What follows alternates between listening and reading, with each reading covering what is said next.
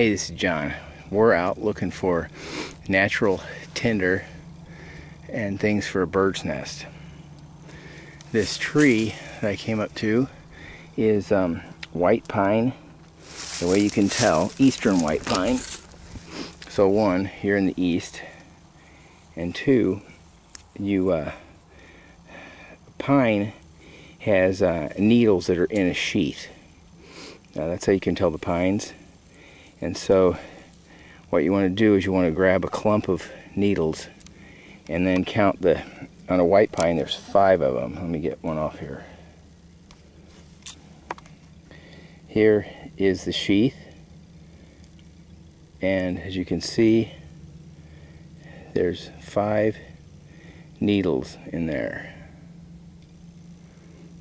Okay, so that determines this is a white pine. So um, white pine needles are fantastic to use as bird nest material. So what you do is you go to the base of the tree and you just grab a handful of needles. So that's what I'm going to do. I'm spooking a lot of wildlife because I'm walking right into the sun. The whole time I've been walking west towards the setting sun and it's just blinding me. Uh, so I just spooked a couple of deer over there and when I crested this hill right down by that where those deadfalls are in the crotch of that tree right there a gray squirrel just ran up and over that so I'm not really, I'm just out here having fun. It's nice evening after work, and I just thought I would um, show you some stuff that you can find for bird nest um, when you're out hiking around. So I'm just um, having fun, not really looking for, well, basically I'm looking for whatever I can find. I'm not seeing much wildlife because of the sun, but what I am seeing right in front of me here is a uh, black cherry and you can see the burnt flake looking um, bark it has. It's like burnt corn flakes or something. Alright. I'm gonna go down the steep embankment and look for some um, grapevine bark and um, see if I can find a cedar. This is an example of American uh, hornbeam. And you see, see how it's smooth and it looks muscly. Um, this is what I grew up calling ironwood, and that's its nickname is ironwood. It's also called musclewood. And you can see it's sort of muscly looking. Super hard, doesn't get very big, so they just use it for like handles and things that were uh, small stuff, but you want something super hard. But it's uh, American hornbeam.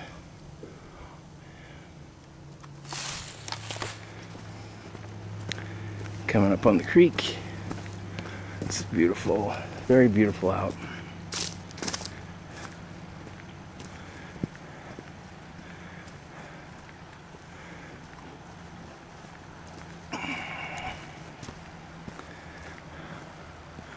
Yeah. Man has to show his presence everywhere we go.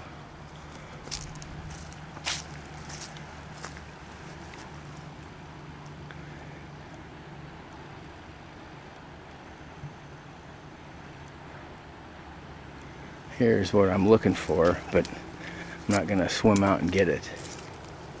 See that grapevine? Right there is a grapevine, and you can see, I'll zoom in on it, you can see the bark scrape, I just stripping off. That's a grapevine. Okay. But I'm going to find one that's not over the water.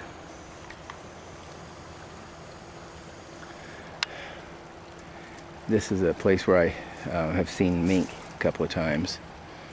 Well, one mink, not more than one, but a couple times I saw one mink here.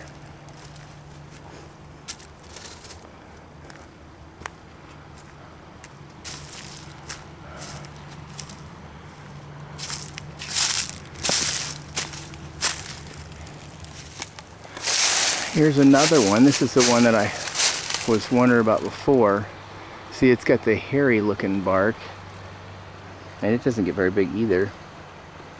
And this is called um, Eastern Hop Hornbeam. Eastern Hop Hornbeam. It's also nicknamed as Ironwood. Um, I think it's also, oh, hairy barked ironwood is another nickname. Here's one that can fool you, and it did me for a while. This one has got the peeling bark, looks sort of like a birch, but it's actually a transitional phase of a um, black cherry. The young black cherry have shiny, smooth bark with horizontal ridges like this, and then it gives way to um, the burnt um, bark later on when it gets older. But as you can see, it, this bark's peeling off, and it's leaving the other type of bark underneath it. So this peeled off bark uh, fooled me into thinking it was birch several times. This is a beautiful place and this is the area that I suspect the beaver lives over there somewhere under these blowdowns maybe right there or somewhere over in there. But those are um, black willows and uh, I think it's made its home under there over on that other side. But it comes over here and chews trees. Probably chewed a lot of other places too. Now another spot you can get some tinder is if you look and you see um, the stuff in these weeds, I mean in these, that's caught on these um, weeds, and what that is, is um, dried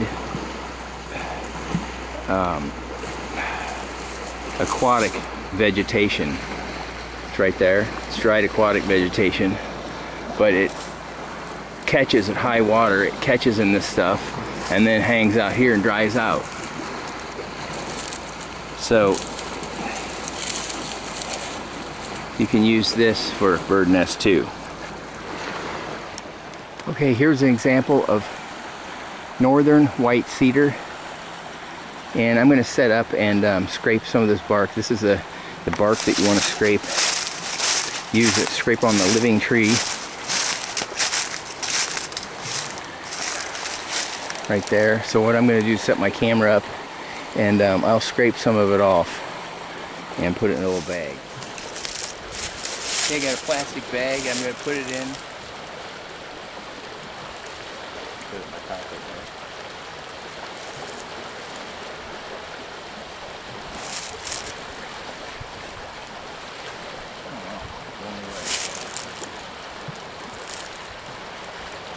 You gotta watch it doesn't blow away light, fluffy.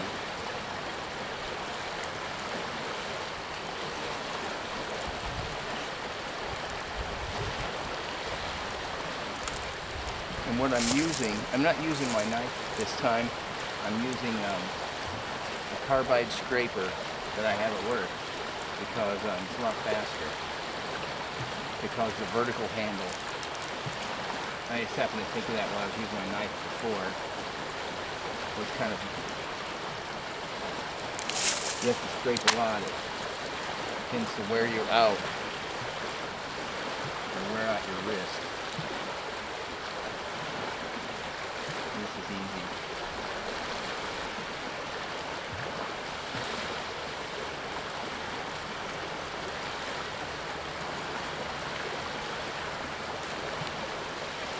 And this doesn't hurt the tree.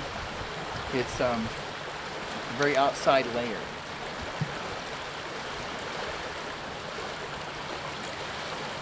Give you a close up of what it looks like. It's just fluffy like a mouse nest. And here's a close-up of what I'm using. Might not be able to find something like this, but this has got a carbide insert in it. And so um, It's designed as a scraper to scrape, uh, it's used to scrape rust and stuff off things, but it works great for something like this. All right, now we're looking for some other material. Okay, here's what I'm looking for. See the grapevines? Arched, the arched things. And then there's a bunch of them right here. So what we're gonna do is I'm gonna grab this. See this? They're just flaking off. Which this is good for is to use as a backing plate for your bird's nest to help hold it together. So I'm going to grab a bunch of this for the uh, backside of my bird's nest. I just had to take a picture of this. Look how huge this grapevine is. And I'll put my hand in here for size comparison.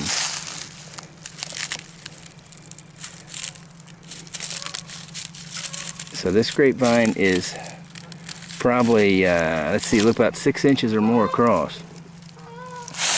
And at the base, it looks like a tree. But you see all this great stuff? That's what we're going to use for the back of our bird's nest. Okay, I gotta hurry because it's getting late. So what I'm gonna do is I'm gonna try to uh, get this going using a fire piston. And so here's some of the the uh, grapevine that I got. So what we're gonna do is we're gonna use this as a base plate. So I'm just gonna put this down I can use put this on the ground because it's going to be my base plate. So there's that. Now, I got my white pine needles and cedar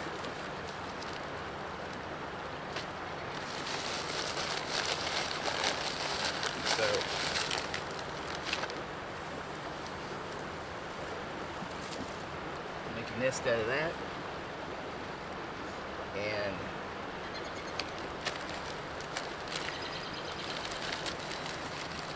I got some cedar here and a little bit of, I got some little bar, I got a little bit of birch.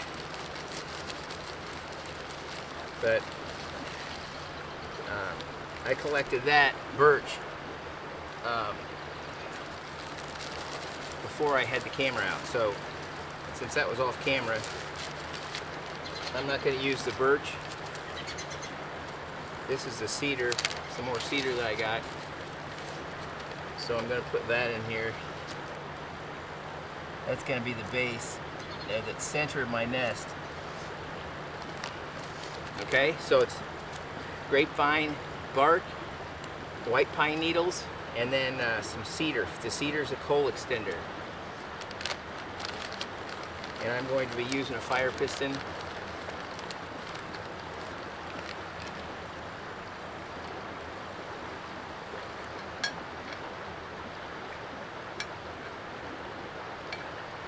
I gotta load the fire piston.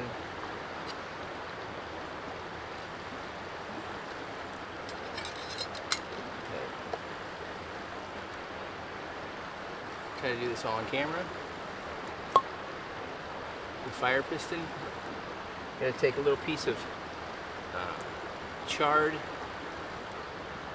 cotton rope. Just need a little tiny bit.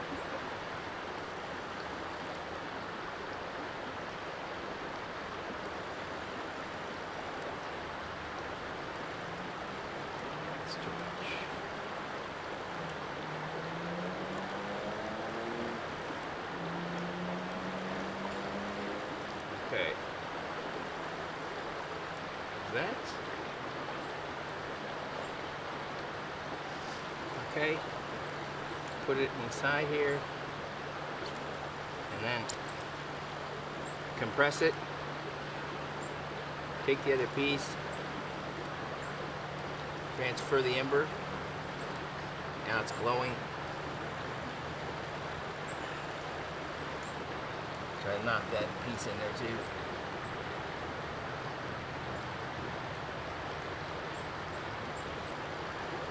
There we go. Put the fire piston away.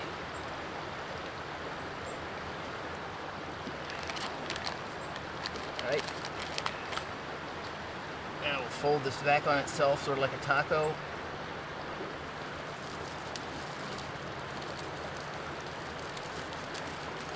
Like this.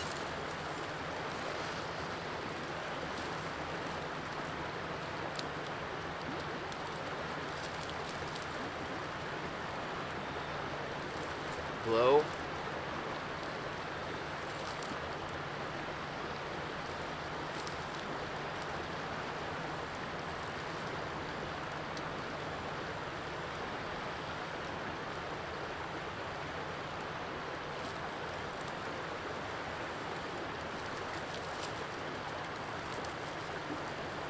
Cedar. Whoa.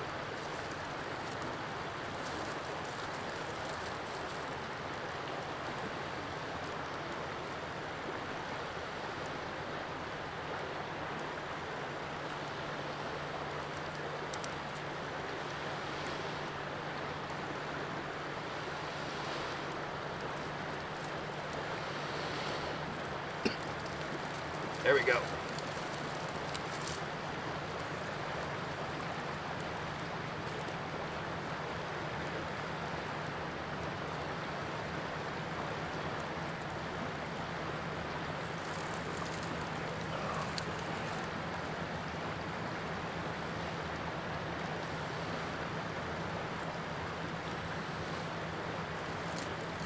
Those pine needles are a little damp.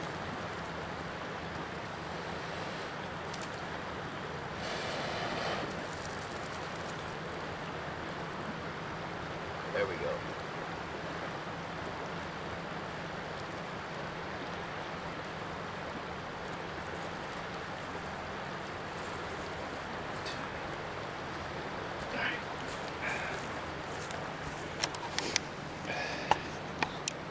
There we go.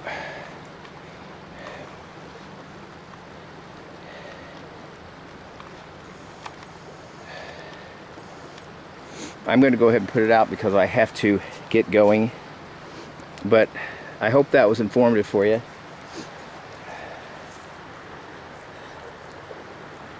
Till we meet again, God bless.